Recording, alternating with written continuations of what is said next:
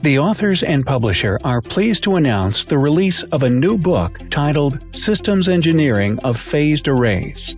This is an important book since phased arrays are now being used or proposed for use in radar, Internet of Things, terabit per second satellite systems, 5G mobile networks, and mobile phones. It presents a system level perspective and approach that is essential for the successful development of modern phased arrays. The book provides vital knowledge to the reader and is divided into three sections. Section 1 is chapters 1 to 4, which describe top level systems engineering activities.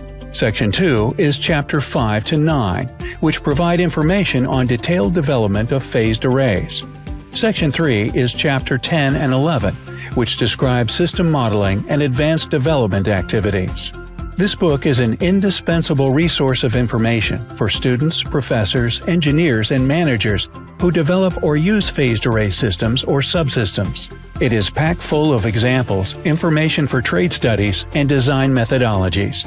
It is a must have for anyone working in the fields of communication systems, 5G, radar, antennas, and satellite systems.